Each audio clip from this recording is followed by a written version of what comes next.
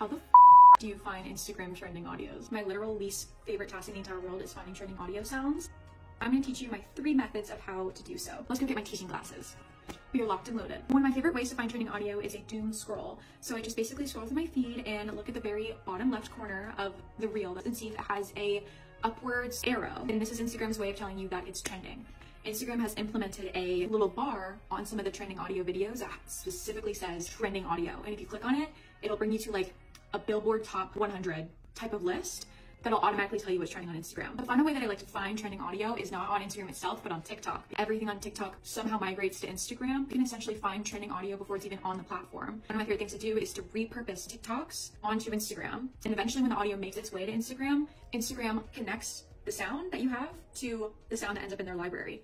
Don't ask me how or why. Thank you for listening to my first part of a series I'm calling TMI with your token Gen Z, giving you too much information on topics you need to know to organically run your socials.